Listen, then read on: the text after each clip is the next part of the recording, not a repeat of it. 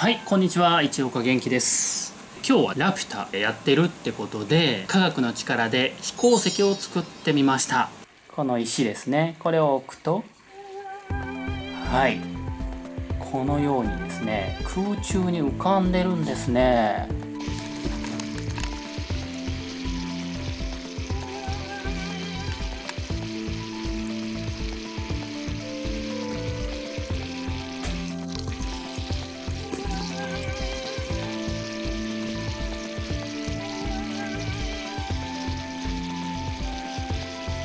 ねこんな風に空中に浮いてますよね。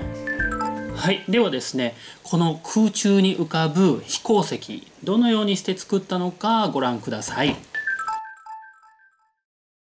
今回使う化学はこれがですね超伝導体と呼ばれるものです。酸化セラミックスまあ瀬戸物お茶碗とかの仲間ですね。でもう一つ使うのがこちら。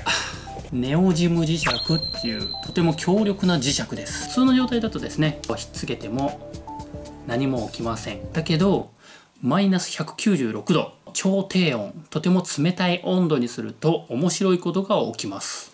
ではちょっとやってみますね。液体窒素を入れます。ペットボトルのキャップを置いて磁石を乗せます。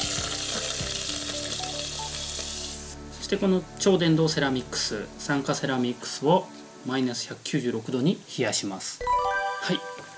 よく冷えたようなので間のペットボトルのキャップを外してみますね。すると。はい。こんな感じで。浮いちゃうんですね。これを利用すればできるんじゃないかとやってみたいと思います。ちらですね。温まると柔らかくなって冷えると固まる粘土。その粘土の中にこの磁石を入れてみたいと思います。なんとか形になりました。じゃあ乗るかやってみたいと思います。いきます。おおいい感じ。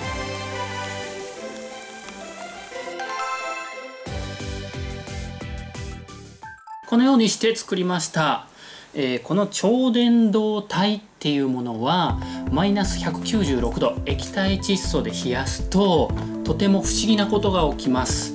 超伝導状態って言います。で超伝導状態になるとこれはですねいろんな不思議なことが起こるんですけどこれはですねマイスナー効果ピン止め効果といって空中に浮かぶことができるんですね。あとはですね電気抵抗ゼロになったりするので、えー、最近のリニアモーターカーとかにも使われたりしていますよ、えー、過去の動画もですね下の説明欄貼っておくので是非見てください。他にも面白い動画やりますのでねこちらから、えー、チャンネル登録をお願いします。